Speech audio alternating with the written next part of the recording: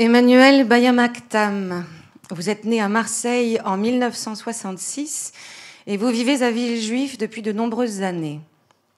Que ce soit dans la cité phocéenne, au cœur de la ville lumière ou bien en banlieue, dans des cafés, des cafés cocons, des cafés refuges, des cafés bureaux, à toute heure du jour et de la nuit, vous écrivez les voix en solitaire, en plein cœur du tumulte, du bruit, des musiques du monde et des quotidiens, des réalités multiples. Là, au sein des mouvements et des battements de cils des uns et des autres, vous vous isolez. Votre table devient le rocher, l'île, le radeau des écritures, à l'image des creux et des failles que vous recherchiez enfant pour inventer vos premières poésies, pour noircir vos cahiers, votre journal. Depuis cet âge si tendre, vous ne cessez d'écrire, et plutôt deux fois qu'une, puisque vous êtes deux, ne vous résolvant pas à une seule identité. Vous êtes Emmanuel Bayamak Tam et vous êtes Rebecca Lighieri, telles deux sœurs jumelles, alternant les romans, l'une cédant la plume à l'autre. Emmanuel publie depuis 1996 et Rebecca depuis 2013. Couronnés de prix, Emmanuel et Rebecca rayonnent de leurs habits d'encres et de lignes pour dire tour à tour, ni tout à fait de la même façon, ni complètement différemment, les vies obscures, grotesques, singulières. Aucune d'entre elles ne semble enfermée dans une tour d'ivoire. Bien au contraire, elles sont toutes deux poreuses, perméables, au genre comme au genre, au rouge comme au noir. Deux écrivaines qui doivent sûrement en cacher une troisième, car avec vous, tout est affaire d'identité flottante, n'est-ce pas? Fluctuante, incertaine, qui n'a pas envie d'être quelqu'un d'autre, de changer de peau, de vêtements, de vie?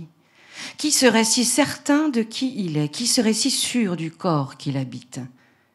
Nos vérités ne sont-elles pas éparpillées, diffractées, échappées? Ne sommes-nous pas constamment à leur recherche et invariablement un peu à côté? L'image dans le miroir ne renvoie-t-elle pas seulement ce que nous y projetons? Qui regarde? Alors écrire pas que ce soit un métier ni une vocation, encore moins la possibilité d'atteindre une meilleure position sociale, plutôt le goût de l'improbable, des inconnus, du désir de fiction, de l'irrépressible envie de rire, du plaisir procuré par les sensations poétiques aux dimensions sensorielles, charnelles, sensuelles. Écrire et s'inscrire dans le lit de la rivière des littératures antérieures, conversant avec elles pour de vrai avant d'être écrivaine, vous êtes une lectrice. Proust, Dickinson, Nerval, Racine, Giono, Woolf et tant d'autres. Dans vos textes, ils frémissent, ils chuchotent. Prolongement, emprunt, hommage, continuité, lignée, sillon, résonance, écho. Parce qu'il faut que ça circule pour ne point être mort, que ça circule, les pensées, les œuvres, les personnages. Les livres ne sont pas écrits une fois pour toutes. Ils se réécrivent à chacune des lectures que l'on fait d'eux. Vous n'écrivez donc jamais seul, si consciente des strates, des dépôts et des chairs qui vous ont précédé. Ces peaux anciennes, ces aïeux rencontrés, ces nouveaux poètes sont votre famille. Baudelaire est votre frère. Il aurait été votre ami, votre amant si vous étiez né plus tôt. Ces fleurs du mal provoquant chez vous le choc, le choc de la poésie, le choc a été la poésie. Et Charles devenait votre compagnon de route. Vous vous seriez aimé passionnément. Avec Gérard de Nerval aussi, vous dites même que vous auriez pu l'empêcher de devenir fou. Peut-être est-ce celui maintenant qui vous empêche de devenir folle. Vous postant à l'intersection de la fiction et de la poésie, des peaux noires et des peaux blanches, des vagins et des verges, des normes et des injonctions, votre œuvre exhale les espaces occultes, contradictoires, irréguliers, flous, monstrueux et beaux simultanément. Elle devient de ce fait une matière à penser, à interroger sans relâche les héritages, les équilibres, les métissages, tout ce qui semble aller de soi. Emmanuel Bayamaktam, votre roman La treizième heure, contient à lui seul un bon nombre de vos livres, tant les passés que les futurs. Et s'il met au centre l'angoisse, le dysfonctionnement, les hybridations, les temps intermédiaires, notre civilisation aux allures de cours des miracles, il ne parle que d'amour, du désir d'amour, du besoin de regard, de la puissance des visages, de la diversité des corps, du sensible à fleur de peau, des âmes errantes. Si errantes, qu'elles invitent à prendre la tangente. Ainsi, je ne peux résister à l'envie de clore cette présentation par un passage de Tout près les nomades, merveilleux recueil d'Annie Lebrun. Elle dit On vit, on meurt, parfois on aime, mais qui aime-t-on? Les amants sont d'évasifs chasseurs d'ombre, lançant désespérément les lévriers blancs de leurs gestes. Un indésirable mécanisme fait que le temps passe sans que l'on sache pour autant où il passe. Aussi se convainc-on trop aisément que la vie n'a pas d'importance, le reste en ayant beaucoup plus. Qu'on ne nous trompe plus. Le destin n'est qu'une perversion accidentellement déployée. Le corps est plus étendu qu'on a coutume de le supposer. Il est l'unique salle des pas perdus et tout ce qui est joué dépend de l'écho. Nous qui avons tellement d'espace et si peu de temps, nous nous ferons nomades. La nudité de l'amour ne fait que commencer. On ne tardera d'ailleurs pas à s'endormir ou à se réveiller auprès de quelques personnages improbables dont la rencontre sera nécessairement fragile, mais possible. Bienvenue, Emmanuel Bayamaktam.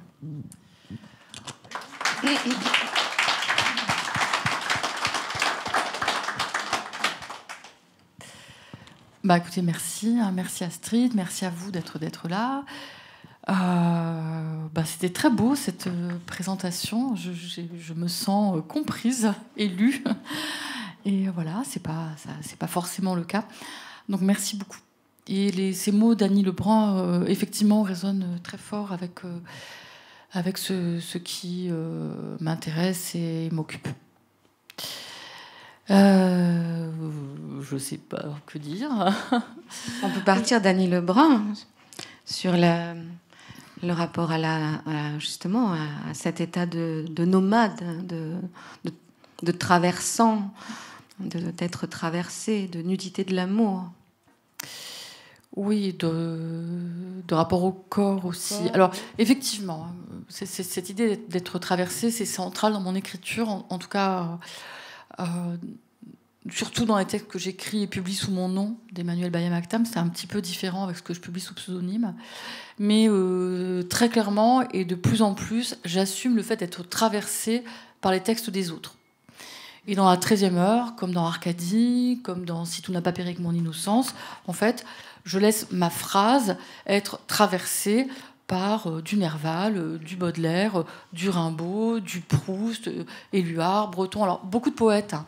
beaucoup de, poètes compris un peu dans, cette parenthèse lyrique entre, entre Hugo et, on va dire Aragon. mais il y a aussi des prosateurs, hein, bien sûr. Et donc, autant quand j'ai commencé à publier, j'avais un peu Enfin, j'étais un peu inhibée à l'idée de, euh, comme ça, d'exhiber des références. J'avais l'impression que je serais euh, taxée de pédantisme, de cuistrerie. Et maintenant, je le fais sans vergogne parce qu'en fait, et c'est ce que vous disiez euh, en préambule, je suis d'abord une lectrice. C'est-à-dire qu'aujourd'hui encore, mon activité principale, c'est la lecture, avant l'écriture. En termes de temps et en termes de, hiérarchisation des, des, centres d'intérêt.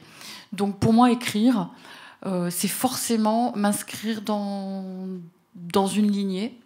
C'est forcément être, alors pas forcément dans un hommage ou une révérence à ces auteurs qui m'ont fait et qui me nourrissent encore aujourd'hui, mais en tout cas dans une espèce de connivence. C'est ce que, ce que disait Astrid sur Baudelaire ou sur Nerval. Alors oui, ça peut paraître absurde. Aujourd'hui, peut-être que je le dirais pas de cette façon-là, mais effectivement, euh, adolescente, les lisant, je me disais, mais mince, si j'avais été leur contemporaine, mais évidemment qu'on aurait été amis, et évidemment que je les aurais sauvés euh, de leur folie, de leur dépression, de leur névrose. Bon, en fait, comme ils étaient syphilitiques au dernier degré, je ne les aurais sauvés de rien du tout. Mais j'avais cette espèce d'ambition naïve. Et en tout cas, voilà, l'affiliation, la connivence font partie des choses qui, qui me font écrire. Oui, puis ce rapport, justement, je, veux, revenir là-dessus, sur cette façon euh, très évidente, euh, très facile, enfin, en tout cas quand on vous lit, de passer de, justement d'une langue d'aujourd'hui à la langue des, de, ceux qui ont écrit avant nous. Et ça, ça nous donne justement, c'est l'envers, pour, pour, moi, c'est l'inverse de la poésie dans le métro. C'est-à-dire ce truc, en fait, un peu un peu fourre-tout. Là, on passe devant, on s'arrête pas, ça nous fait rien. Puis c'est de la poésie, c'est des petits poètes, quoi. C'est pas. Là, au contraire, on a tout à coup une matière à penser. On a des mots qui nous traversent, qui parlent au corps, qui parlent vraiment. C'est pas, c'est pas, c'est pas de la surface, mais, mais euh, de façon extrêmement quotidienne, extrêmement simple, extrêmement accessible. Et au contraire. Euh, tant pis si on vous taxe de je ne sais quoi. de pédantisme Oui, oh, bah, on manque peut-être un peu de pédanterie aujourd'hui. Alors, euh, oui, c'est un autre de. c'est quelque chose qui compte beaucoup aussi pour moi que cette bigarrure des registres, cette façon effectivement de, euh, dans les dialogues, d'être dans une espèce de, euh, oui, de modernité ou d'utiliser des formules un, peu crues, un peu triviales, un peu argotiques. Ou quand je fais parler des personnages très jeunes, j'aime autant les faire parler comme parlent aujourd'hui les personnages très, les personnes très jeunes. Et puis, ça ne m'empêche pas ensuite de basculer dans une syntaxe sophistiquée avec des références à la haute littérature parce que finalement je hiérarchise assez peu et que j'aime faire arriver dans mon texte euh, des références, euh, je répète, parfois très très érudite, encore qu'il ne s'agit pas non plus d'une érudition, une érudition folle, et puis des références aussi à la culture populaire, avec en particulier dans la 13e heure, beaucoup de références à, à, la chanson, parce que la chanson me, voilà, me procure des émotions et des réflexions au moins aussi fortes et aussi subtiles que, que Proust, Nerval et Racine, que pourtant je place très haut évidemment. Alors la 13e heure, c'est une église et c'est aussi un poème. Donc la 13e heure, c'est une église dans laquelle on prêche avec des poèmes, euh, dans laquelle on soigne les, les mots par les mots. Ça, c'est complètement incroyable. Donc la 13e heure n'est pas une secte. La 13e heure est une communauté une façon de vivre, euh, en tout cas une tentative de vivre autrement. Euh, et, là est toute l'originalité, je trouve, de cette histoire, c'est-à-dire qu'en effet, on, imaginez qu'on rentre à l'église et qu'on entend Nerval, Racine et qu'on chante du Serge Lama. Je pense qu'on on serait beaucoup à aller à l'église le dimanche. Oui, alors euh, effectivement. Alors la 13e heure, ça vient d'un sonnet de Nerval qui s'appelle Artémis, qui est le sixième sonnet des chimères. Euh, sachant que les chimères est un recueil de sonnets qui en comporte 12. Donc le fait que ce soit le sonnet central pour Nerval, qui était complètement obsédé par les nombres, j'imagine que ça a un sens. Et euh, ce sonnet de Nerval, il commence par la treizième revient, c'est encore la première, et c'est toujours la seule ou c'est le seul moment, car es-tu reine, ô toi la première ou dernière, et tu roi, toi le seul ou le dernier amant. Et euh, bon, moi j'aime beaucoup Nerval, j'aime beaucoup ce sonnet, j'aime beaucoup cette strophe. Et effectivement, cette 13e heure, qui est aussi la première, 13 h 1 heure, euh, cette espèce de, de renversement euh, inscrit dans le sonnet où on sent bien que la sainte c'est la prostituée, la prostituée c'est la sainte, les premiers sont les derniers, etc. Ça m'a inspiré ce roman. Et effectivement, j'ai imaginé une église, pas une secte au sens où on y entre, on en sort comme on veut. Euh, celui qui l'a fondée, la dirige, n'est pas du tout euh, manipulateur, il n'exerce pas d'emprise, on n'est pas dans le, bourrage de crâne ou le lavage de cerveau. Lui, son idée, c'est que la récitation collective de poésie euh, peut faire du bien aux gens. Et comme c'est un récit très contemporain, viennent dans son église des gens qui ont été, par exemple, très abîmés par le Covid ou très angoissés par les guerres. Hein. Au moment où je termine l'écriture à la 13e heure, euh, ben, euh, Poutine a, a, déclaré la, guerre à l'Ukraine. Euh, donc voilà, c'est un roman qui est, là encore, traversé par des angoisses qui sont les nôtres, je pense, et des sujets d'inquiétude qui sont les nôtres. Et Léni, le fondateur de la 13e heure, euh, voilà, s'efforce de ben, d'y parer à ses angoisses, à ses inquiétudes par euh, toutes sortes d'ateliers psychiques euh, et, la récitation. Il a remplacé, il est chrétien, mais il a remplacé les évangiles par la poésie, la poésie française. Et on va citer Mallarmé, qui était quand même en amont euh, de la 13e heure, si j'ai bien compris, qui dit Mais ratés, nous le sommes tous, Mauclair. Que pouvons-nous être d'autres puisque nous mesurons notre fini à un infini?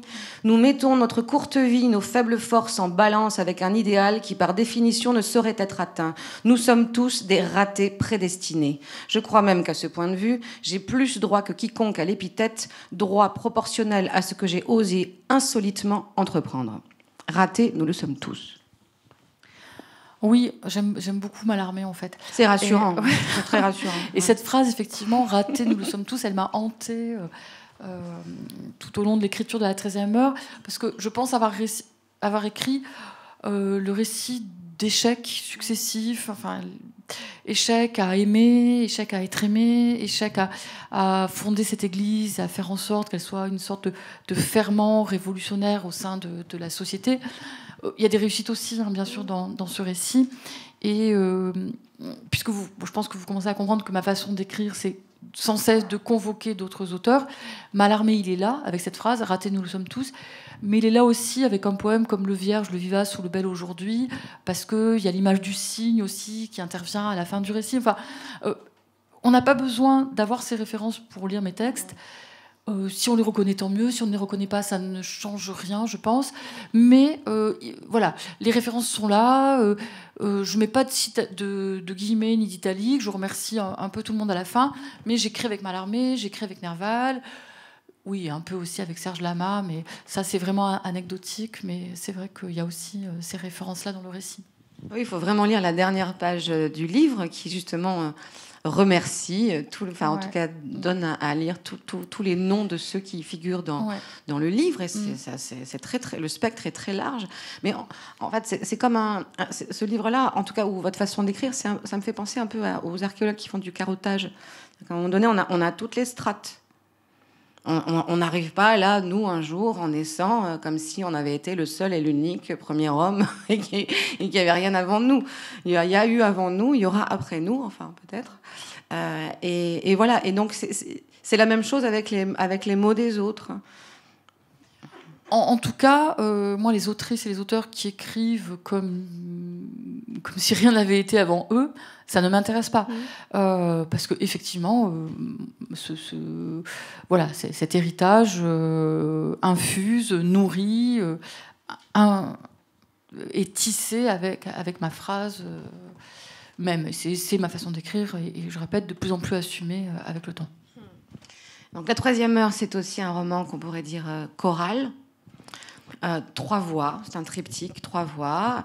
Celle de Farah, qui est un personnage qui, revient, qui a déjà existé au préalable. Celle de Léni, qui est son père euh, et le père de cette église. Et celle de Inde, qui est la mère, une des mères de Farah.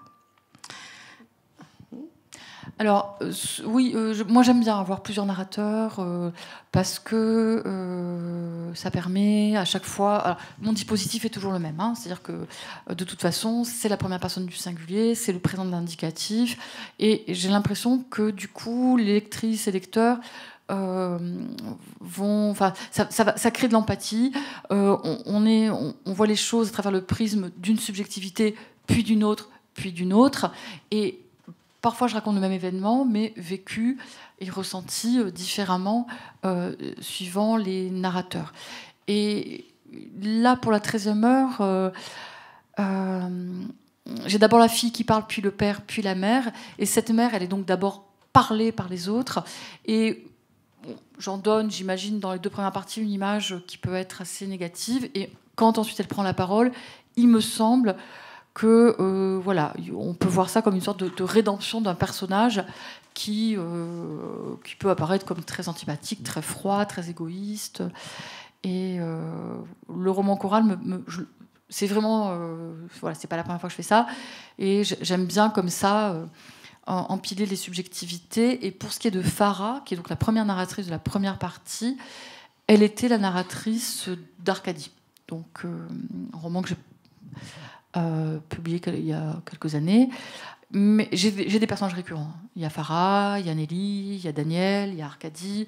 Euh, sauf qu'à chaque fois, ce sont les mêmes personnages avec le même prénom, le même nom de famille, euh, le même physique et à peu près le même caractère, sauf que je les place dans des configurations euh, familiales, sociales différentes. Donc c'est le même personnage, enfin en tout cas à mon sens, mais ils n'ont pas la même histoire d'un livre à l'autre. Et plein d'autres personnages, évidemment. Pas seulement Farah, ni Léni, ni In, il y en a aussi plein d'autres. Ce livre est, haut en couleur. Il est bariolé, il est, euh, il est euh, queer, euh, comme on dit aujourd'hui. Il est trans, tous les trans que vous voulez. Transversal, transsexuel, transidentitaire. justement, c'est comme, c'est un peu comme, les, comme, elle, comme elle fait avec les auteurs et les époques. Tout se mélange, donc ça se métisse. c'est exactement la même chose. Euh, et, c'est drôle aussi. Hein. Euh, vraiment, on parle de, de sujets qui peuvent être, euh, selon comment on les lit, assez terrifiants, mais le réel est terrifiant. Alors, on peut s'en échapper aussi. Et ces personnages-là arrivent aussi à s'en échapper avec ce qu'ils peuvent. On fait tous comme on peut. mais j'insiste sur le fait que il y a euh, des scènes qui sont totalement euh, grotesques ou burlesques. En tous les cas, il y a quelque chose qui, se, qui sans cesse se rééquilibre entre le noir et le rouge, comme je le disais au début, entre les femmes et les hommes, entre les noirs et les blancs, entre les gros et, les maigres, entre les moches et les beaux. et au fur et à mesure, on sort de ça en se disant qu'en effet, on, a tendance peut-être parfois à être un peu trop étroit et à être tellement sous les injonctions aussi et sous les normes, parce que c'est vraiment un livre qui interroge ça, sous le regard normé, qu'on en vient euh, très rapidement et très facilement dans notre vie de tous les jours à, poser sur les choses et les gens des regards extrêmement étroits. Et grâce aussi à cette forme chorale, on sort de cette, de cette façon de penser. Puisqu'en effet, on, peut juger tel ou tel personnage, mais le fait de l'entendre ensuite parler, c'est l'ombre et la lumière, c'est toujours la même chose. Le mensonge et la vérité, ou le mensonge et le secret. Qui ne ment pas, qui n'a, qui n'a pas de secret, qui, qui serait si transparent et si certain, comme je le disais au départ, de ce qu'il est. C'est vraiment hum, quelque chose qui est creusé dans votre œuvre depuis, depuis le départ depuis que vous écrivez, ce rapport à, la norme, au secret. Ouais, ouais, ouais. En tout cas, euh, oui, la fluidité. Euh, moi, j'ai très vite senti, euh, au moins dans l'écriture, sans parler du reste, que la fixité, c'était la mort. Donc, effectivement, j'ai des personnages qui sont un peu comme des électrons libres sur l'échiquier social.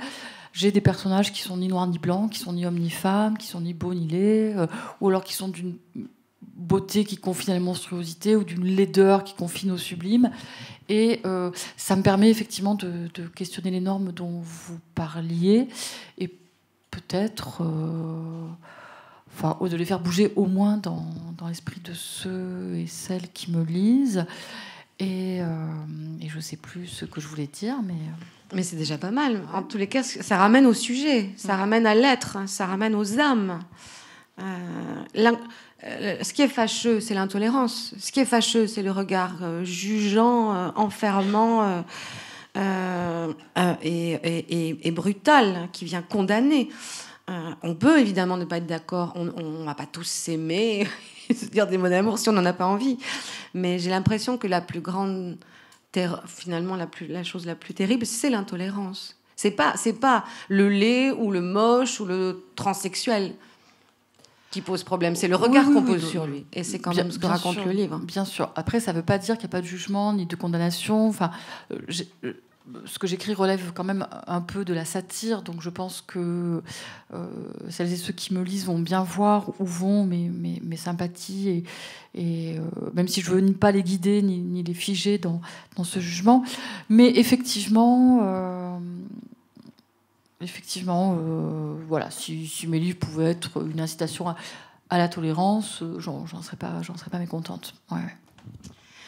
Alors, j'ai l'habitude, enfin ça m'arrive assez souvent, de préparer des petites choses, un petit montage avec... Euh, je pioche. Je fais un peu comme vous, je pioche dans ce que vous me dites, je, je pioche dans ce qu'il y a dans le livre et je pioche euh, dans ce qui me vient. Et puis je fais quelque chose avec.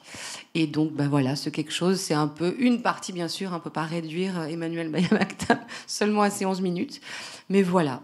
I'm glad we caught you at home. could we use your phone? We're both in a bit of a hurry. Right. We'll just say where we are, then go back to the car. Pleasure to meet you, Dr. Fulton. We don't want to be any worry. Well, you got caught with a flat. Well, how about that? Well, babies, don't you panic. By the light of the night, it'll all seem alright. I'll get you a satanic mechanic. I'm just a sweet transvestite from transsexual Transylvania. Why don't you stay for the night? Or maybe a bite. I could show you my favorite obsession. I've been making a man with blonde hair and a tan, and he's good for a living, my attention. I'm just a sweet transvestite from transsexual Transylvania.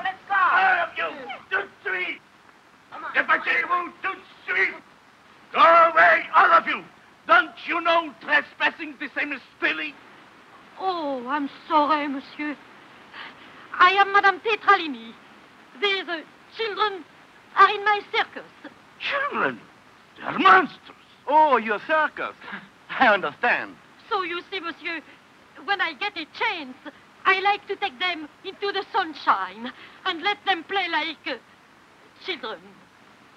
That is what most of them are. Children. All die Jahre, all die Monate. Und dann ist alles so schnell zu Ende. Und hinterher, hm, was ist gewesen? Ich habe mich verliebt. Was? Ja, Christa. Ich habe mich verliebt. In einen Marokkaner, der 20 Jahre jünger ist als ich. Eher mehr. Du machst wirklich eigenartige Witze, Mama. Ich habe geheiratet. Du hast. Mama. I wonder where you were going. Mulholland Drive. That's where I was going. Mulholland Drive. I had a dream about this place. Tell me. There is no band, and yet we hear a band. Diane? Camilla. Diane, the car's waiting. This is the girl.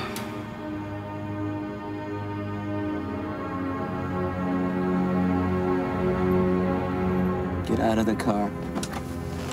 I mean, I just came here from Deep River, Ontario, and now I'm in this dream place. Someone is in trouble. Something bad is happening. Could be someone's missing,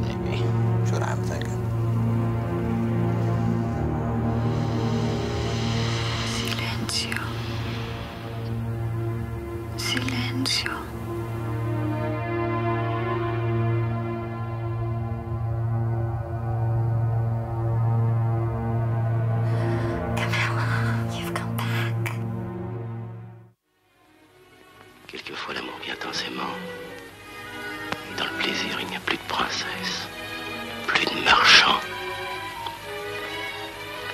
Et à notre réveil, y penses-tu?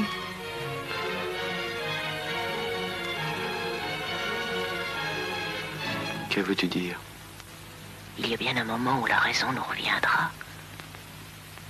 Je te demande si ce moment-là ne t'inquiète pas.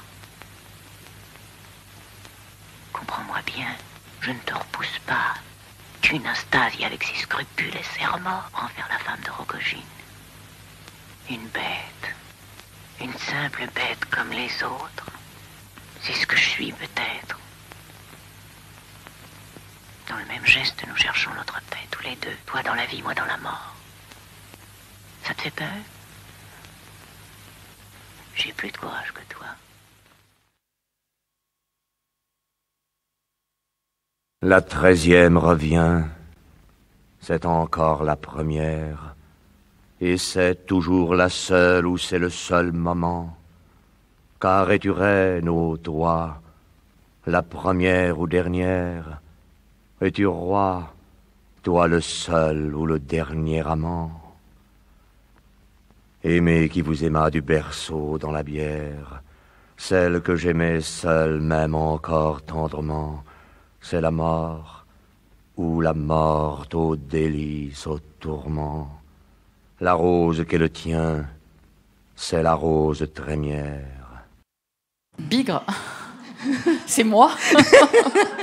c'est comme si elle avait pénétré euh, mon cerveau et avait sorti les images euh, qui me hantent. Euh, C'est fou, parce que autant Astrid, il y a des références que je vous avais moi-même indiquées. Autant les photos de Smith, par exemple, je vous en ai pas parlé. Si Ah, ok. D'accord. Euh, bon. Et après, il y a du Nan Goldin, il y a quoi? Il y a Nan Goldin Ouais, ouais, ouais. en photographe. Et après, il y a les métamorphoses vues par Rodin. D'accord.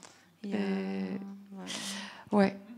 Euh, Alors après voilà, je pense que vous commencez à cerner mon esthétique. On n'est pas du tout dans la sobriété. euh, euh, voilà, moi, moi, euh, je, je viens du cabaret en fait. C'est-à-dire que ce qui m'inspire, c'est effectivement euh, le transformisme, euh, le grotesque, euh, l'exubérance. euh, euh, et là, ce sur quoi on a terminé là, Miguel Bosé chantant Un año d'amor euh, dans le film d'Almodovar, je pense que je l'ai visionné euh, 100 fois au moment où j'écrivais La 13e heure. Et si vous le lisez, vous l'avez lu, euh, vous verrez, vous avez vu que ça m'a vraiment inspiré euh, toute une scène et ça m'a même inspiré le personnage de Hind. Euh, il est tout en, il est né de, de ce film. Euh, Almodovar étant pour moi une référence toujours présente.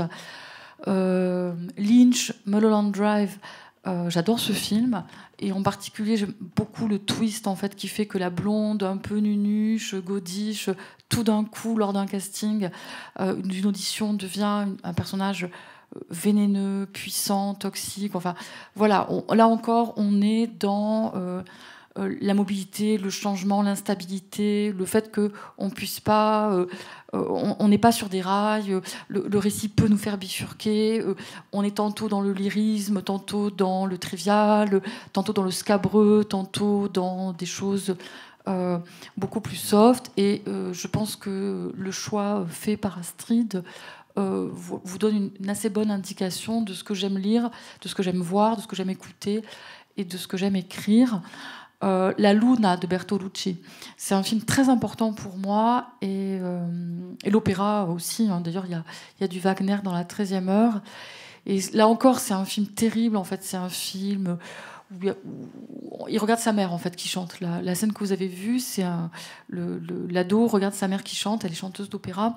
Et en même temps, c'est un film sur la toxicomanie, sur euh, sur euh, l'enfant laissé à l'abandon. Il y a, il y a un rapport quasi incestueux avec la mère. Donc en fait, c'est un film à la fois très beau, très baroque, et, et en même temps très, très dur et, très réaliste euh, par, par moment. Voilà. Donc merci. Mais c'est vous qui m'inspirez. Euh, donc vous l'avez compris, tout, tout ça, il y a de tout ça dans ce livre, dans la 13e heure, parce que j'ai pas envie qu'on, qu'on, qu'on aille raconter chapitre après chapitre ce qui se passe. Euh, Il y a des personnages qui sont comme, comme il faut, d'autres qui sont pas comme il faut, euh, des qui rentrent dans leur rang, des qui rentrent pas dans leur rang. Euh, des histoires de famille. euh, la famille, c'est aussi un thème extrêmement récurrent dans vos littératures. Euh, la haine qu'on peut aussi ressentir vis-à-vis de sa famille est un moteur d'écriture, est un moteur aussi d'épanouissement. Au moins, il y a quelqu'un contre qui s'ériger. Ouais. La famille biologique, en tout cas. Euh, Alors oui, euh, moi je, m'en- je, je raconte souvent, euh, je- je- enfin, dans mes récits, il y a beaucoup de familles dysfonctionnelles, mais finalement elles, elles le sont euh, quasiment toutes. Euh, ça m'empêche pas d'être une mère de famille heureuse euh, et tout à fait euh, satisfaite de ma propre vie de famille. Euh, mais voilà, souvent je montre des configurations familiales un peu hors normes. C'est le cas dans la 13e heure, hein, parce qu'il me semble que ces nouvelles configurations, l'homoparentalité en particulier, la monoparentalité, enfin, interrogent la famille nucléaire, la famille traditionnelle, d'une façon qui pourrait être salutaire. hein. Après, je ne veux pas faire d'angélisme, hein. je ne dis pas que l'homoparentalité euh, doit être euh, notre modèle, mais en tout cas, euh, que la famille soit questionnée aujourd'hui, ça me semble salutaire. parce qu'elle est aussi, on le sait très bien, le foyer, le centre de, de, de violences, de comportements terribles, abusifs. hein. Il suffit de lire Triste Tigre, que Neige Sino a publié chez mon éditeur très récemment. Euh, voilà, donc effectivement, la, euh, la colère que je peux ressentir euh, par rapport à, cer- à certaines, certains comportements intrafamiliaux est un moteur de, de mon écriture, de mon écriture effectivement. Je vais vous faire écouter un tout petit, un tout petit moment d'un. De- bah, vous allez entendre, c'est Annie Lebrun qui parle et puis on, on pourra peut-être réagir. Eh ben, c'était la soirée Annie Mais Lebrun et Emmanuel Bayamaktam. S'il s'agit de la beauté, pas celle qu'on essaye de nous vendre à tout prix, mais de la beauté que chacun peut, peut, peut vivre et peut, dont il peut en être ébloui, eh bien, chaque expression de la beauté, c'est une sorte d'effraction, c'est-à-dire la beauté ouvre un horizon euh, qui, qui fait, qui permet d'échapper à ce qui est. Et or, justement, tout le, le problème actuel de ce monde-ci est de nous convaincre qu'il n'y a pas d'alternative, c'est la suite de ce qu'affirmait Thatcher, et qu'il n'y a pas de sortie sinon, sinon de participer pleinement à ce monde qui se définit par une forme de marchandisation totale. Oui, merveilleuse Annie Lebrun. Euh, oui, oui, effectivement, luttons de toutes nos forces contre ce discours qui consiste à nous dire qu'il n'y a pas d'alternative, il y a toujours des alternatives. Et c'est vrai que souvent, dans, dans mes récits, je décris et je fais vivre des communautés dissidentes.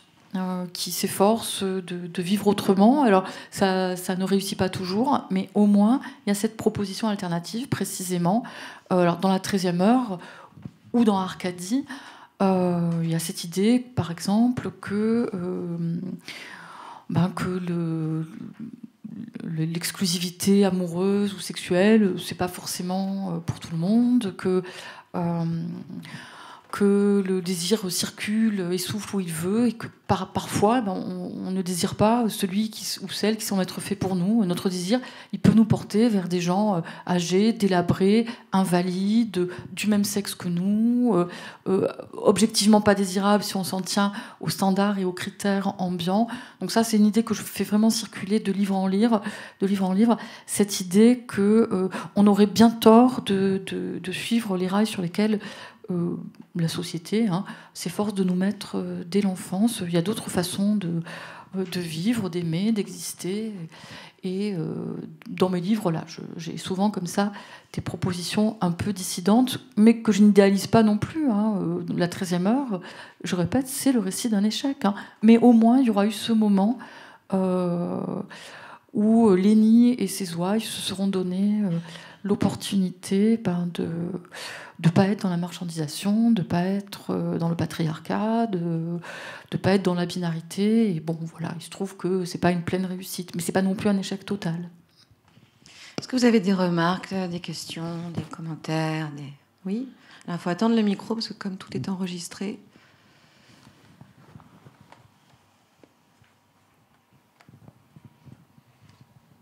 Bonsoir, moi je serais assez curieux de savoir pourquoi vous avez choisi une église pour, euh, pour euh, faire parler ces personnages, parce qu'on sait depuis que Dieu est mort que les églises ne font que péricliter dans, dans ce qu'elles transmettent et, ce qui est ce qu'elles remettent en cause n'est plus du tout euh, mm. n'est plus du tout d'actualité. Je voulais savoir pourquoi. Est-ce qu'on en revient au vrai religaré, à savoir la vraie, la vraie, le vrai lien qui, qui, était tissé par, euh, par les origines. Quoi. Je, je, C'était une question. Pourquoi une église? Parce que il, me semble, il me semble que ce qui se joue dans la société actuellement se joue plus en dehors de l'église que dans l'église. Voilà pourquoi.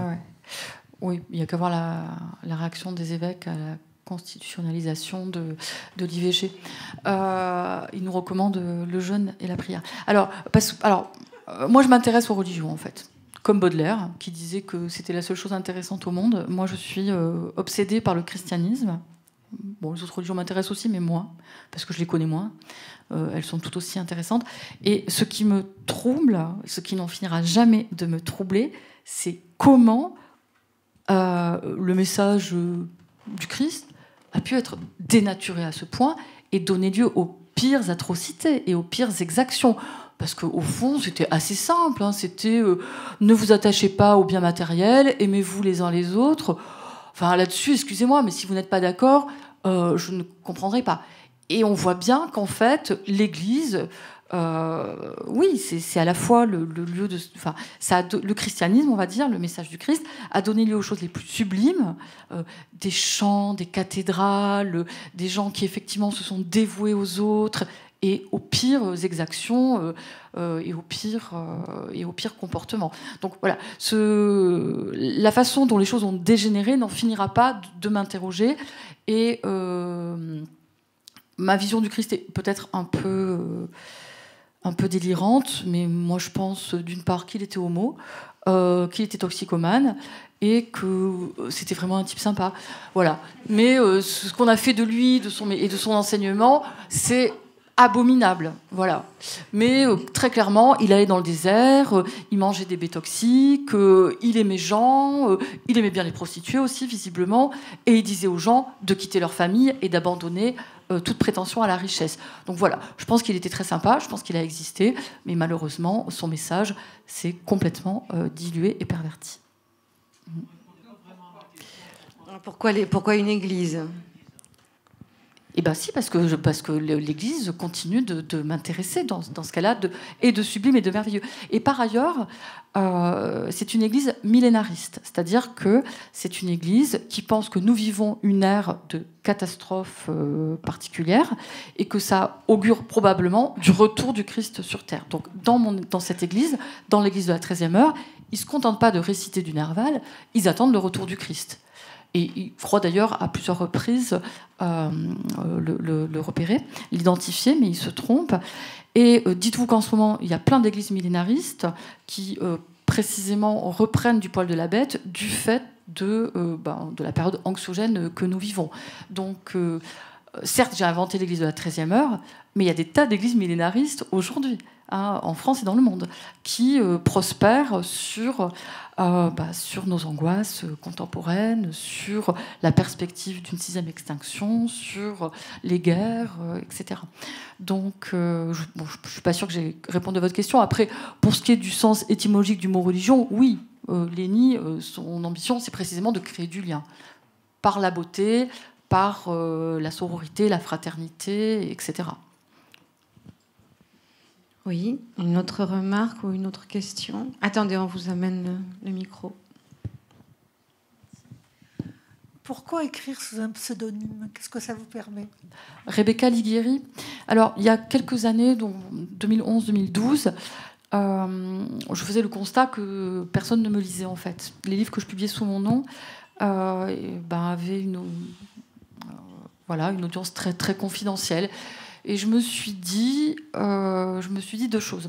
D'abord que voilà, j'allais écrire euh, des livres en y mettant tous les ingrédients qui marchent, du sexe, des paillettes, de la violence, etc. Euh, ça, c'était un de mes objectifs. Et que je n'osais pas le faire sous mon nom, d'où le pseudonyme. Et puis, en fin de compte, quand j'ai commencé à écrire en me disant que je publierais sous le pseudonyme de Rebecca Liguieri, euh, ça m'a complètement désinhibée. C'est-à-dire que j'ai j'ai pas du tout écrit un best-seller. Hein. En fait, ça n'a pas du tout marché, ce que j'ai écrit et publié sous ce pseudonyme. D'ailleurs, j'y ai pas forcément mis tous les ingrédients que je comptais y mettre. Mais ça a libéré mon écriture. Et par ailleurs, euh, en écrivant euh, ce premier livre, je me suis dit que euh, voilà, je n'étais pas juste dans un objectif un peu un peu vénal et mercantiliste, que je, me suis dit que c'était plus possible de n'écrire que pour des agrégés de lettres, des normaliens, des, documentalistes, des enseignants, des journalistes, des écrivains, etc. Que je voulais toucher des gens qui finalement, euh, voilà, lisaient peu, ne lisaient pas, et que j'avais envie d'écrire des choses plus accessibles, plus populaires. Donc voilà, il y avait au départ cet objectif assez honteux, j'avoue, qui était de, voilà, de vendre davantage. Mais très vite, euh, j'ai oublié cette idée et j'écrivais ce premier livre avec l'idée de, voilà, d'être lu par euh, des gens qui ne seraient pas mes pères. Et ça a marché. Hein. Rebecca Liguieri euh, n'est pas forcément lu par ceux qui disent Bayamak, Tam, et inversement. Donc, même si, bon, là, je sens bien que les deux écritures sont en train de fusionner. Euh, voilà, depuis 2013 en tout cas, euh, j'alterne entre des livres peut-être plus accessibles et d'autres, euh, oui, qui le, sont moins. Enfin, je, pourrais en parler des heures. Hein. Il y a aussi le fait que Liguiri, c'est très scénarisé. Bayamak, je parle de moi à la troisième personne, je sais, ça paraît bizarre, mais il n'y a pas de schizophrénie du tout. ce que j'écris sous mon nom, il n'y a aucun scénario. Je pars avec un sonnet de Nerval, une phrase de Malarmé et roule ma poule, hein, et, et ça donne un livre. En revanche, quand je sais que ce sera un livre publié sous pseudonyme, j'ai déjà mes grandes scènes. Et c'est le récit qui prime. Alors que quand c'est les livres que j'écris sous mon nom, le récit est très secondaire pour moi. C'est vraiment la langue qui compte. Mais je répète, hein, la différence entre les deux tend à s'amenuiser à tel point que là, le livre que je publierai en, fin août, début septembre, ce sera un Liguiri. Ça reste un Liguiri et en même temps, je vois bien que les deux écritures se contaminent. On va entendre l'écriture maintenant. Alors là, c'est Inde qui parle, c'est donc euh, dans la troisième euh, partie. Dès le début, tu m'as vu comme un poème, une fée baudelairienne, une émanation un peu tremblée de tes grandes odes. Il t'a complètement échappé que j'étais une chanson, une chanson réaliste, une java bleue, une môme, catch-catch, une vraie de vraie. Pauvre Lénie. Il t'aura échappé tant de choses, à commencer par le fin mot de notre histoire, à moins qu'il n'y ait pas de fin mot, pas de clé, pas d'explication, ce qui est mon idée surtout depuis toujours. Si on commence à chercher des explications, on en trouve, mais elles ne seront jamais que des rationalisations et des simplifications du mystère. Lénie, mon amour, que je te plains d'être tombé sur moi. Car que veut dire l'amour quand on en a si peu à donner? J'aurais tellement voulu m'élever à la hauteur du tien, être un cœur innombrable au lieu d'un muscle sec, crois-moi. Le monde se divise en deux, ceux qui aimeront toujours sans ménager leur peine, et ceux qui ne disposent que d'un tout petit capital, juste assez de carburant pour la mise à feu, mais plus rien pour assurer ensuite la navigation spatiale. Si encore chacun aimait dans sa catégorie, tout irait bien. Mais les cœurs innombrables ont tendance à s'éprendre des cœurs secs, une tendance aussi fâcheuse que tragique. Je ne sais pas si les contraires s'attirent ou si les champions de l'amour pêchent par optimisme, voient un défi à relever là où il n'y a que du chagrin à espérer. Mais le fait est qu'ils foncent avec un enthousiasme qui force le respect tout droit vers celle ou celui qui est le moins fait pour eux. C'est exactement ce que Lénie a fait avec moi. Foncer dans le mur en négligeant tous les signaux d'alerte, à commencer par mon inconstance, mon impatience, mon intolérance à l'ennui et ma volonté forcenée de plonger dans le tourbillon de la vie. Pauvre Lénie, qui se serait si bien contentée de m'aimer. Pauvre Lénie qui a pris mon désir de maternité comme une merveilleuse nouvelle, alors qu'il en a été de ce désir comme du reste. Il s'est usé ou volatilisé, que sais-je pour laisser la place à d'autres merveilleuses nouvelles, à d'autres désirs impérieux, à d'autres tourbillons et à d'autres vies que la nôtre, ce train-train tendrement conjugal qui lui suffisait sans me satisfaire. J'étais une chanson, Lénie. Une ritournelle éphémère, un truc pas fait pour rester dans les annales. Si tu l'avais compris plus tôt, tu te serais méfié, tu n'aurais pas jeté toutes tes forces dans la bataille et surtout tu ne m'aurais pas aidé à programmer une naissance aussi déraisonnable que celle de Farah. Je ne dis pas ça parce que je suis sa mère, je le dis parce que l'être humain a perdu le droit de se reproduire. Mais évidemment, je ne pensais pas à l'être humain voici 17 ans. Je ne pensais même pas à toi, Lenny, et encore moins à cette pauvre Sophie qui n'a jamais été qu'un réceptacle, un vase, une couveuse. D'ailleurs, je ne pensais pas. J'essayais juste de réussir mon auto-fécondation, comme une acrobatie sensationnelle qui aurait cloué le bec à tout le monde. Si j'avais 20 ans aujourd'hui, je militerais activement pour la ligature des trompes et la vasectomie pour tous. Mais j'en ai presque 43 et j'ai déjà commis l'irréparable, à savoir accroître la population mondiale. Je ne regrette rien parce que c'est Farah. Et que son humanité me semble d'un autre matériau que l'humanité ordinaire. Il se peut que je me fasse des idées, comme s'en font la plupart des mères, mais je suis si peu une mère que ce qui vaut pour elles ne vaut pas pour moi. Leur vanité, leur fierté de pondeuse, leurs convictions infondées quant au haut potentiel de leur progéniture. Mes convictions à moi sont tout à fait fondées. Elles se basent sur l'observation d'une enfant que je n'ai pas élevée moi-même et vers laquelle aucun élan ne me pousse, aucun mouvement d'entrailles, aucun sursaut de reconnaissance intime. La première fois, je l'ai même jugée franchement laide, avec ses cheveux rasés sur les tempes et longs sur la nuque, cette coupe qui revient à la mode mais qui ne va à personne. Et le reste était à l'avenant. Hein. Silhouette massive, bouille maussade, fringues informes.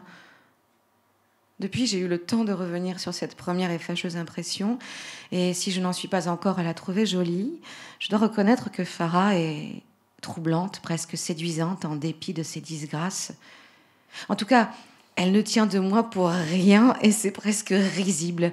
Il n'est peut-être pas trop tard pour la transmission, mais je ne sais pas si j'en ai envie. Et surtout, qu'ai-je à transmettre? Je suis vide, Lénie.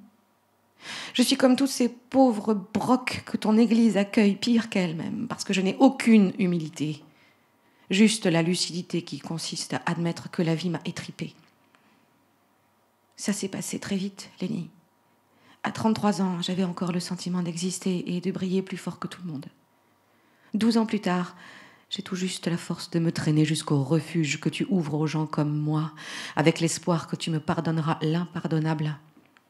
Et comme il y a une chanson pour tout, il y a une chanson pour ça. Elle s'appelle C'est écrit et elle me fera pleurer tant qu'il me restera une once de sensibilité.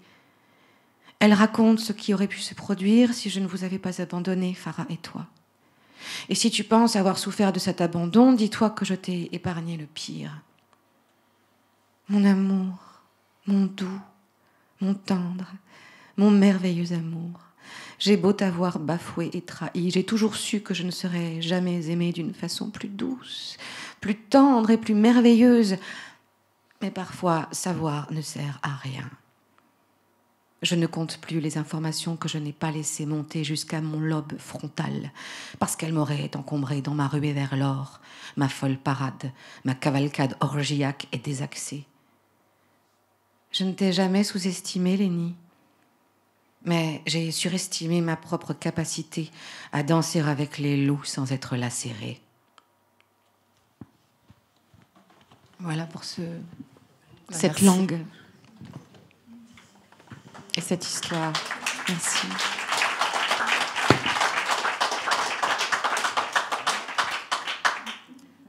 Bah, merci, hein, très, très très très belle lecture. C'est toujours un plaisir hein, de, de réentendre des choses qu'on a écrites, euh, lues par, euh, bah, par des gens qui savent le faire. hein. Donc euh, merci encore et bravo. Avec grand plaisir. Il y a plein d'autres passages qu'on pourrait lire, bien entendu, mais euh, voilà, je trouve que c'est très très important dans ces rendez-vous de se faire entendre la langue, la langue des auteurs. Et puis je trouve que dans ce passage, voilà, on, parle de Pharaon, on parle de Lénie, c'est In qui parle. On, voilà, on vous donne à entendre sans tout vous raconter, parce que il y en a sûrement parmi, parmi vous qui n'ont pas encore lu ce livre et qui vont se précipiter à la fin de ce rendez-vous. Euh, mais voilà, tous ces cabossés, euh, on est tous cabossés, parce qu'en fait, c'est facile aussi de dire, oh, ben, ils sont cabossés, ils sont. Et moi alors Enfin. Euh, la fêlure des autres permet peut-être aussi de mettre à jour la propre fêlure, enfin sa propre fêlure, et de pas en faire ni euh, un chapelet euh, de lamentation, ni, enfin, en tout cas, ça permet ces gens qui sont apparemment pas complètement à leur place ou pas complètement dans des cases, ben, soit nous permettent de mettre une petite face en dehors du siège qu'on nous a attribué, ou soit tout simplement de faire avec celui qu'on s'est choisi. Non? Euh, si, si, je, je- je- je ne peux qu'acquiescer, euh, je, euh, mais pas rebondir. Vous Donc- regardez les gens beaucoup quand vous écrivez dans les cafés, vous les regardez? Oui, oui, oui, oui, oui, oui. On le sent. Oui, ça. oui, oui. c'est pour ça que j'écris dans les cafés, en fait, parce que c'est une façon d'être encore dans la vie et pas du tout dans ma tour d'ivoire. C'est pas du tout du snobisme, hein, mais en fait, j'écris bien dans les cafés les plus. euh, les plus glauques en fait. Les PMU par exemple, ça marche très bien pour moi. En fait, le pire pour écrire, en- ce qui me concerne, c'est le salon de thé où j'entendrai des, des conversations euh, intéressantes, etc. Moi, au contraire, si à la télé, la radio, ça ne me dérange pas, si les gens sont en train de parier sur tel ou tel cheval, mais c'est parfait. Et oui, je regarde les gens et parfois, effectivement, ils arrivent dans mes livres, du coup, euh, parce que je vais, euh, voilà, il y a des, des- comportements, des physiques, des propos euh, qui, vont, qui vont se retrouver dans, dans mon texte. En tout cas, écrire dans les cafés, euh, c'est ma façon d'être quand même dans le monde et pas parce qu'écrire c'est quand même une activité très solitaire et, on s'abstrait du monde. Je le fais quand même, même, même en écrivant dans les cafés. Évidemment, je suis concentrée et retranchée d'une certaine façon, mais voilà, c'est quand même ma façon de euh, de pas être complètement euh, coupée de la société. Et puis on sent, enfin on sent ça. Je, vous pose cette question parce qu'on sent bien que tous ces personnages, toutes ces foules, toute cette humanité vous traversent. Et, euh, et- et on n'a pas de mal à, à vous imaginer euh, sur ce radeau, là, comme je le disais au départ, sur ce radeau des écritures, des, des- et, et oui, et des humanités qui traversent, qui rentrent, qui sortent dans les cafés, qui vous traversent aussi. Et puis hop, ça, ça oui, par infusion, par. euh, Oui, oui, un truc de, On le sent, ça. De, de capillarité. En plus, bon, moi, je vis, je vis en banlieue parisienne, je vis à Villejuif. Euh, alors là, j'habite plus dans une cité, mais jusqu'à l'an dernier, c'était le cas. Donc finalement, je vivais et travaillais dans un quartier extrêmement populaire. Euh, là, on s'est un petit peu embourgeoisé et c'est tant mieux. Maintenant, on habite en centre-ville. Mais euh, voilà, c'est aussi euh, une façon pour moi, qui vient de Marseille, de la classe moyenne, ben, d'être. De, ben, de connaître autre chose que mon milieu d'origine et, ma ville d'origine. Euh, voilà. Donc, et le, café, non, vraiment, c'est euh, comme ça des petites ouvertures sur, euh, sur la société. D'autres remarques ou questions avant qu'on termine ce rendez-vous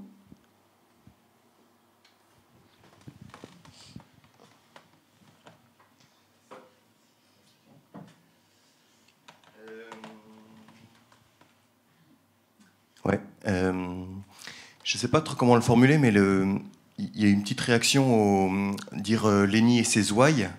Et du coup, ça me fait penser aussi à Arcadie, que j'ai un peu oublié, mais ça m'y fait penser un peu. Oui. Euh, avec une histoire un peu de gourou, euh, sauveur et tout ça, avec des personnages. Enfin, moi j'aime vachement ton écriture et tout ça, mais enfin, il n'y a pas de mais. Et, et- et- et du coup, il y, a il y a une petite interrogation. Enfin, je sais pas, que, je couple un petit peu avec l'histoire de. Enfin, les, poètes, les personnages, là, les artistes et tout ça. Bon, beaucoup masculins. un peu d'une autre époque aussi. Enfin, c'est pas ceux qui m'inspirent le plus moi, mais je demande. Enfin, justement, c'est bien de, rentrer dans, quelque chose de nouveau.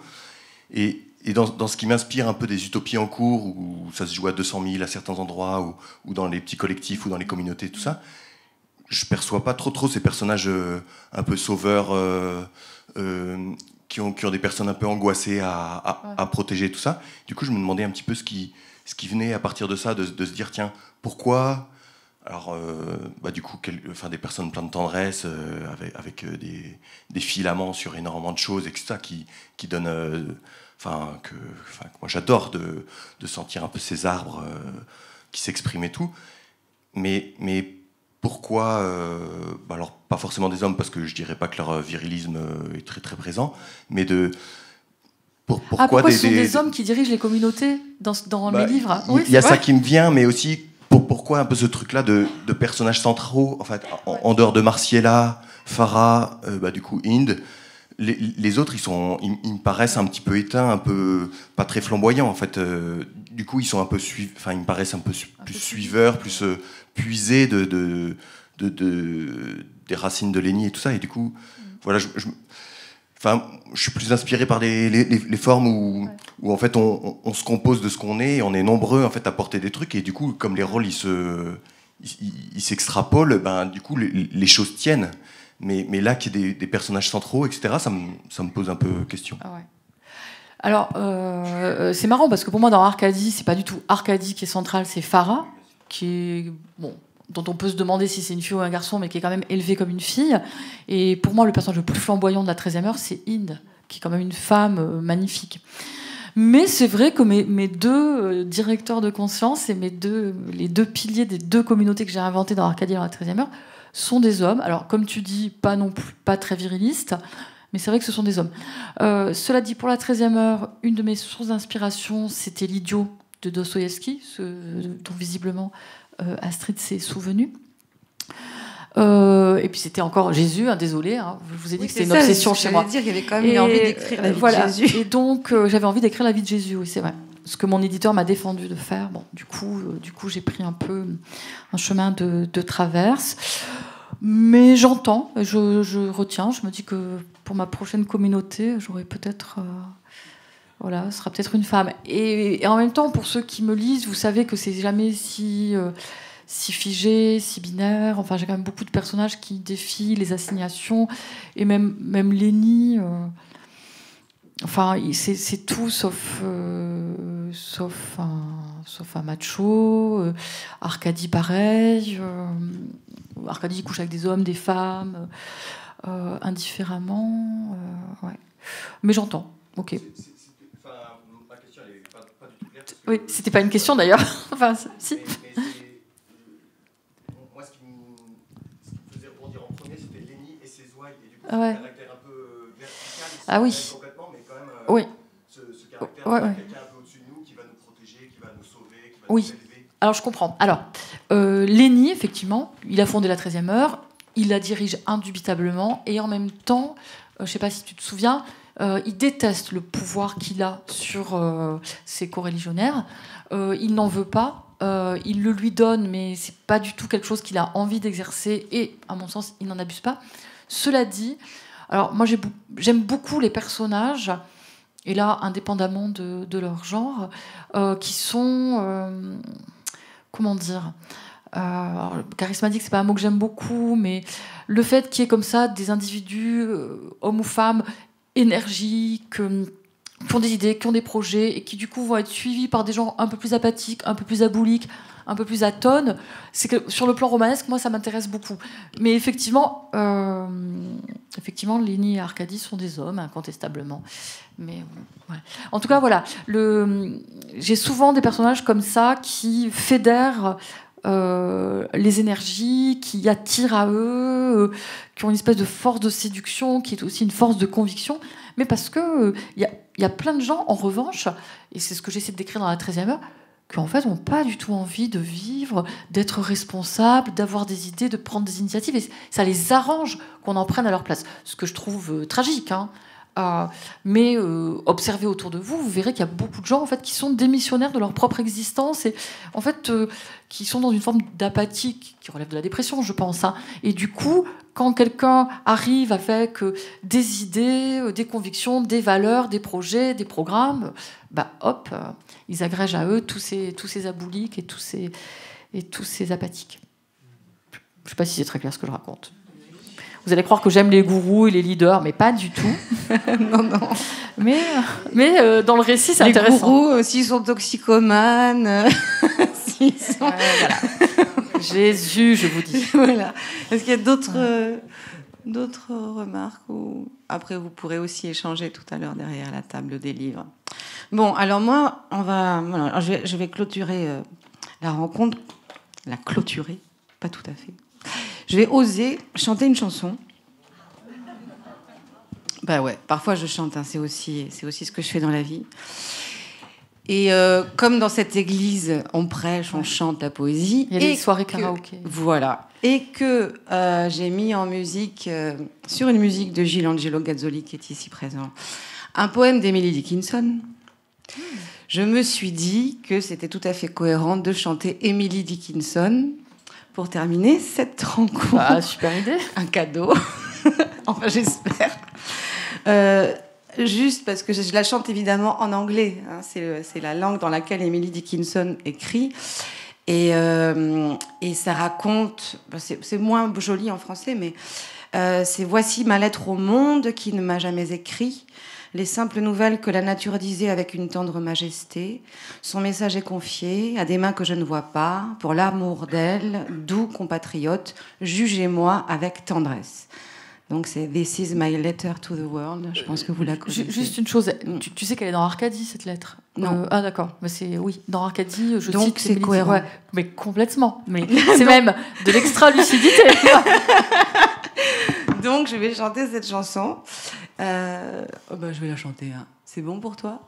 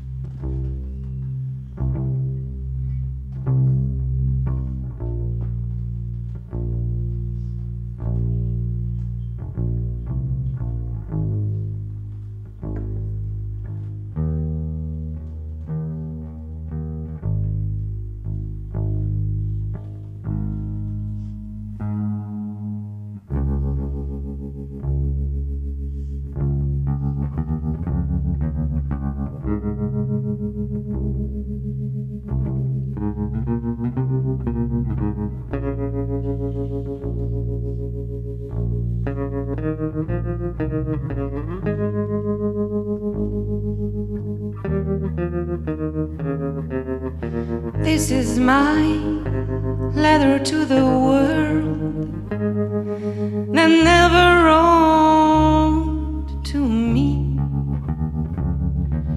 The simple news that nature told with tender majesty.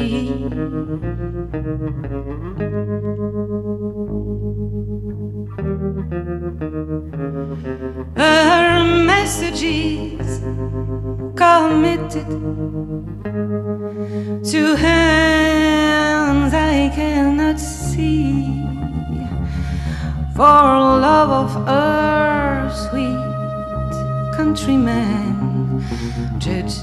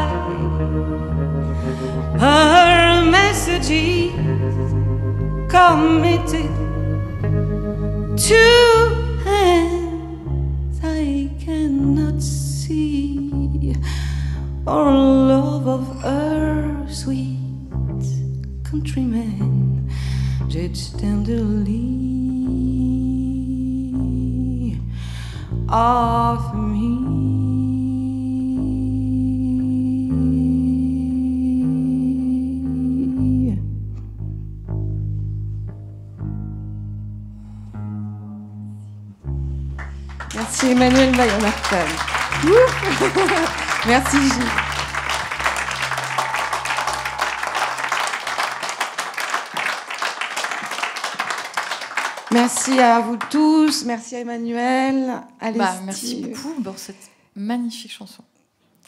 Et Ouais. on peut se retrouver autour du bar, derrière les livres, avec vous encore. Voilà, bah, merci d'être venu et de nous avoir écoutés, mais c'était vraiment une rencontre euh, géniale. À mon sens, hein, et je ne parle pas de ce que j'ai pu baragouiner, mais vraiment Astrid, merci. Merci beaucoup. Merci à vous.